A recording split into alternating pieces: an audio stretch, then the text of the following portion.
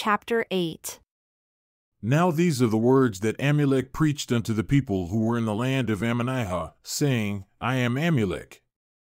I am the son of Giddonah, who was the son of Ishmael, who was a descendant of Aminadi, and it was that same Aminadi who interpreted the writing which was upon the wall of the temple, which was written by the finger of God. And Aminadi was a descendant of Nephi, who was the son of Lehi, who came out of the land of Jerusalem, who was a descendant of Manasseh, who was the son of Joseph, who was sold into Egypt by the hands of his brethren. And behold, I am also a man of no small reputation among all those who know me, yea, and behold, I have many kindred and friends. And I have also acquired much riches by the hand of my industry. Nevertheless, after all this, I have never known much of the ways of the Lord, and his mysteries and marvelous power. I said I never had known much of these things, but behold, I mistake, for I have seen much of his mysteries and his miraculous power, yea, even in the preservation of the lives of this people. Nevertheless, I did harden my heart, for I was called many times, and I would not hear. Therefore, I knew concerning these things, yet I would not know. Therefore, I went on rebelling against God in the wickedness of my heart, even until the fourth day of this seventh month, which is in the tenth year of the reign of our judges. As I was journeying to see a very near kindred, behold, an angel of the Lord appeared unto me and said, Amulek, return to thine own house, for thou shalt feed a prophet of the Lord, yea, a holy man who is a chosen man of God, for he has fasted many days because of the sins of this people, and he is an hungered. And thou shalt receive him into thy house and feed him. And he shall bless thee and thy house, and the blessing of the Lord shall rest upon thee and thy house. And it came to pass that I obeyed the voice of the angel and returned towards my house. And as I was a going thither, I found the man whom the angel said unto me, Thou shalt receive into thy house. And behold, it was this same man who has been speaking unto you concerning the things of God. And the angel said unto me, He is a holy man. Wherefore, I know he is a holy man because it was said by an angel of God. And again I know that the things whereof he hath testified are true. For behold, I say unto you that as the Lord liveth, even so he hath sent his angel to make these things manifest unto me, and this he has done while this Alma hath dwelt at my house. For behold, he hath blessed mine house, he hath blessed me, and my women, and my children, and my father, and my kinsfolks, yea, even all my kindred hath he blessed. And the blessing of the Lord hath rested upon us according to the words which he spake. And now, when Amulek had spoken these words, the people began to be astonished, seeing there was more than one witness who testified of the things whereof they were accused, and also of the things which were to come, according to the spirit of prophecy which was in them. Nevertheless, there were some among them who thought to question them, that by their cunning devices they might catch them in their words, that they might find witness against them, that they might deliver them to the judges, that they might be judged according to the law, and that they might be slain or cast into prison, according to the crime which they could make appear or witness against them. Now it was those men who sought to destroy them, who were lawyers, who were hired or appointed by the people to administer the law at their times of trial, or at the trials of the crimes of the people before the judges. Now these lawyers were learned in all the arts and cunning of the people, and this was to enable them that they might be skilful in their profession. And it came to pass that they began to question Amulek, that thereby they might make him cross his words or contradict the words which he should speak. Now they knew not that Amulek could know of their design, but it came to pass, as they began to question him, he perceived their thoughts. And he said unto them, O ye wicked and perverse generation, ye lawyers and hypocrites, for ye are laying the foundations of the devil, for ye are laying traps and snares to catch the holy ones of God. Ye are laying plans to pervert the ways of the righteous, and to bring down the wrath of God upon your heads, even to the utter destruction of this people. Yea, well did Mosiah say, who was our last king, when he was about to deliver up the kingdom, having no one to confer it upon, causing that this people should be governed by their own voices, yea, well did he say that if the time should come that the voice of this people should cause iniquity, that is, if the time should come that this people should fall into transgression, they would be ripe for destruction. And now I say unto you that well doth the Lord judge of your iniquities, well doth he cry unto this people by the voice of his angels, Repent ye, repent, for the kingdom of heaven is at hand.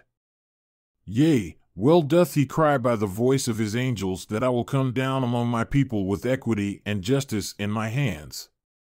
Yea, and I say unto you that if it were not for the prayers of the righteous who are now in the land, that ye would even now be visited with utter destruction. Yet it would not be by flood, as were the people in the days of Noah, but it would be by famine, and by pestilence, and the sword. But it is by the prayers of the righteous that ye are spared. Now therefore, if ye will cast out the righteous from among you, then will not the Lord stay his hand, but in his fierce anger he will come out against you, then ye shall be smitten by famine, and by pestilence, and by the sword. And the time is soon at hand, except ye repent. And now it came to pass that the people were more angry with Amulek, and they cried out, saying, This man doth revile against our laws, which are just, and our wise lawyers whom we have selected. But Amulek stretched forth his hand and cried the mightier unto them, saying, O ye wicked and perverse generation!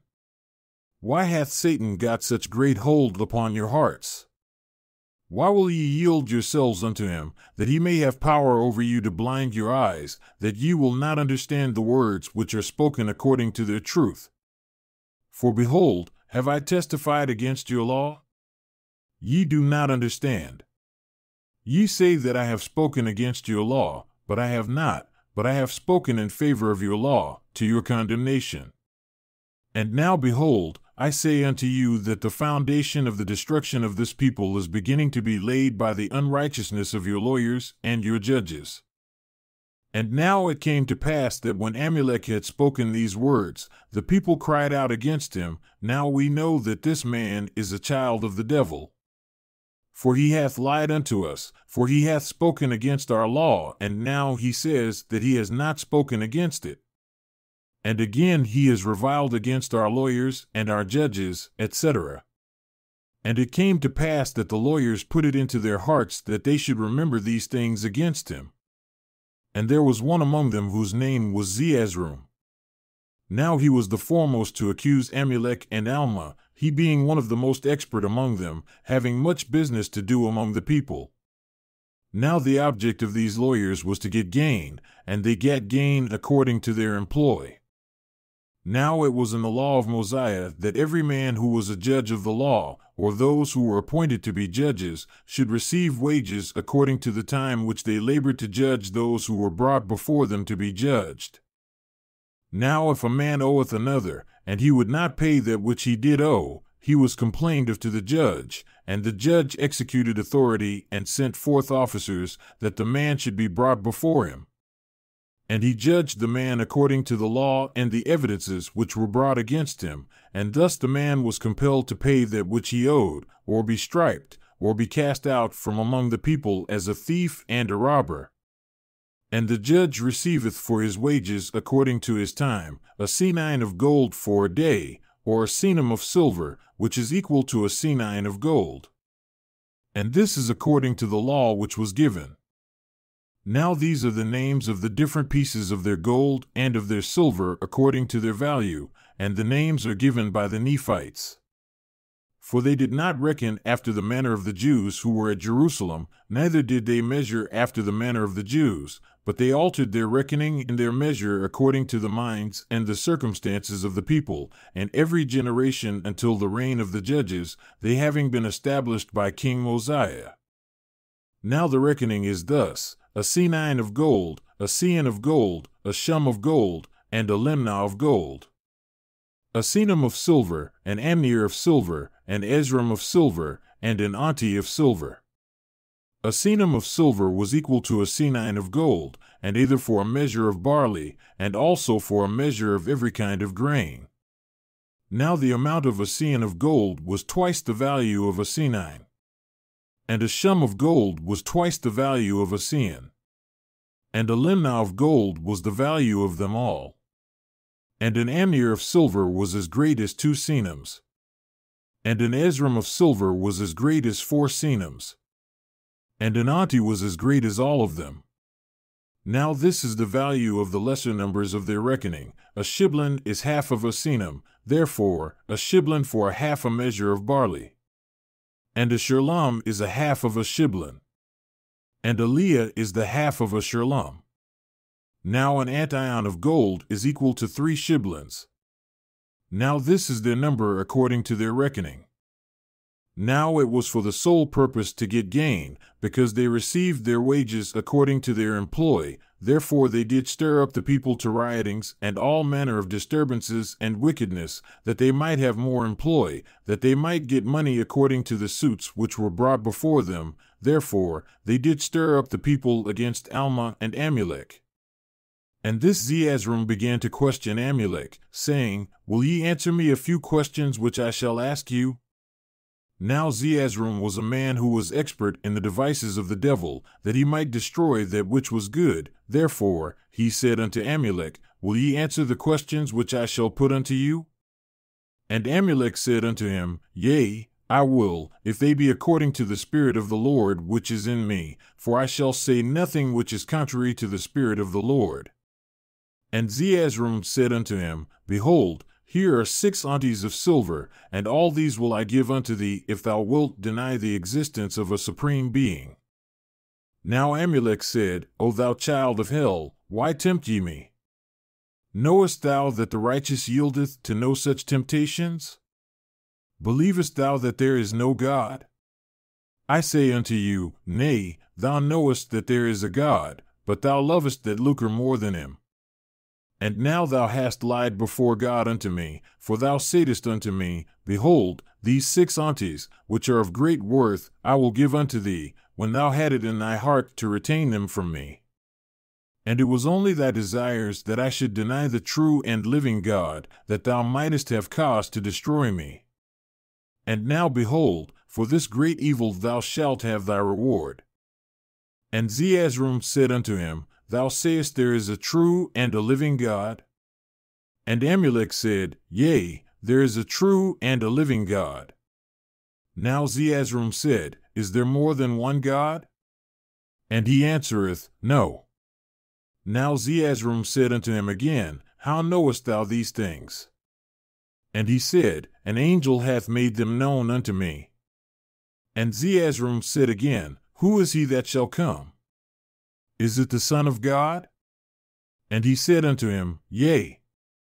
And Zeezrom said again, Shall he save his people in their sins? And Amulek answered and said unto him, I say unto you, he shall not, for it is impossible for him to deny his word. Now Zeezrom said unto the people, See that ye remember these things, for he said there is but one God, yet he said that the Son of God shall come, but he shall not save his people, as though he had authority to command God.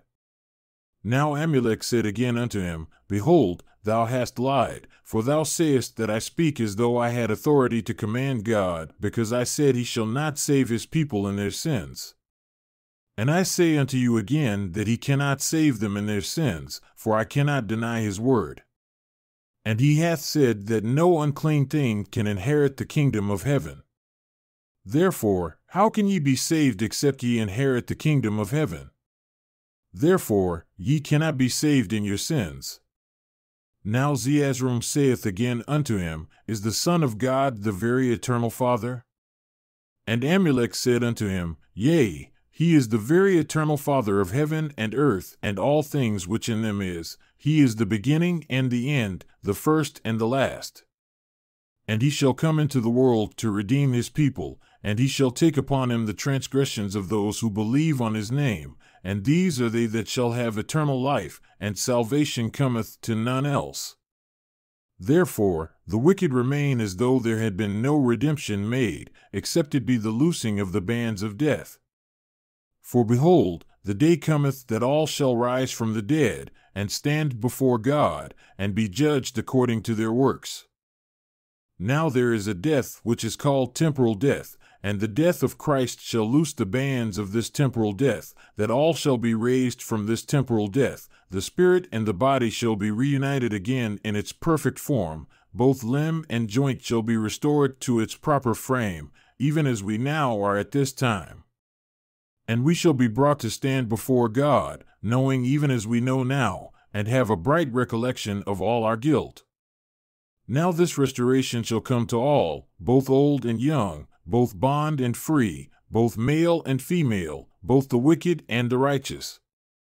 And even there shall not so much as a hair of their heads be lost, but all things shall be restored to its perfect frame, as it is now, or in the body, and shall be brought and be ranged before the bar of Christ the Son, and God the Father, and the Holy Spirit, which is one eternal God, to be judged according to their works, whether they be good or whether they be evil. Now behold, I have spoken unto you concerning the death of the mortal body, and also concerning the resurrection of the mortal body. I say unto you that this mortal body is raised to an immortal body, that is from death, even from the first death unto life, that they can die no more, their spirits uniting with their bodies, never to be divided, thus the whole becoming spiritual and immortal, that they can no more see corruption. Now, when Amulek had finished these words, the people began again to be astonished, and also Zeezrom began to tremble. And thus ended the words of Amulek, or this is all that I have written.